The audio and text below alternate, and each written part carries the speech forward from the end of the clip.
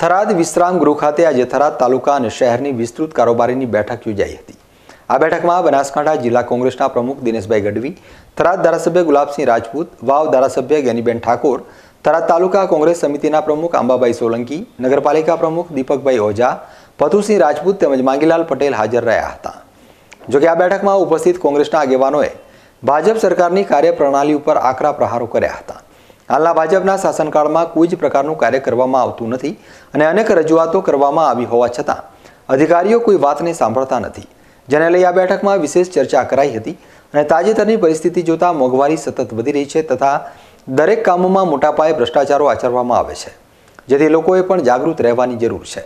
આ બેઠકમાં વાવ ધારાસભ્ય ગેનીબેન ઠાકોરે વધુમાં જણાવ્યું હતું કે કોંગ્રેસના કાર્યકરોને જે હોદ્દો આપવામાં આવશે તેમાં નિષ્ઠાથી કામ કરવું પડશે અને જો લોકો કામ નહીં કરે અને ફક્ત હોદ્દો ધરાવીને બેઠા છે, તેમને હોદ્દામાંથી દૂર પણ કરવામાં આવશે.